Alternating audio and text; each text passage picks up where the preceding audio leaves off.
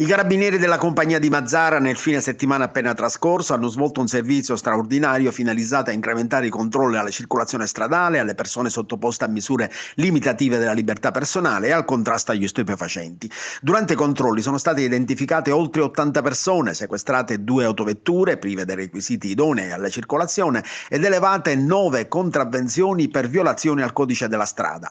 Tra le persone sottoposte a controllo, due sono state segnalate alla prefettura di Trapani Trapani perché trovate in possesso di sostanze stupefacenti per uso personale, mentre sono stati denunciati in stato di libertà un cinquantenne del luogo e un ventiseienne di nazionalità straniera, trovati rispettivamente in possesso nella propria autovettura di un tubo in polietilene e di una barra metallica di circa un metro con impugnature artigianali per porto di armi e oggetti atti a offendere.